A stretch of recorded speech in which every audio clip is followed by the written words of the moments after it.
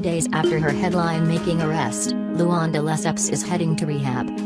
The Real Housewives of New York City star, 52, tells people exclusively that she will be checking herself into a treatment facility. After the events of last Saturday night in Palm Beach, I am truly embarrassed, she says. I have decided to seek professional guidance and will be voluntarily checking into an alcohol treatment center. Intend to turn this unfortunate incident into a positive life-changing event.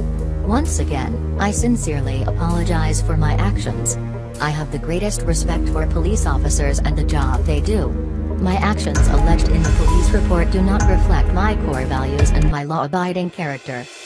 I am so grateful for the love and support that I am receiving from my family, friends and loyal supporters.